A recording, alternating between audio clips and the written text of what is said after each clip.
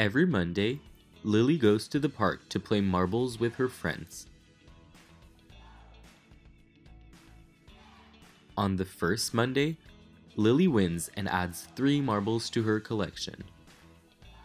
On the second Monday, Lily wins again and adds 6 marbles to her collection. On the third Monday, Lily wins yet again and adds 9 marbles to her collection. Lily is now asking herself a really important question. If she continues to win at this rate, how many marbles will she be adding to her collection on the 7th Monday?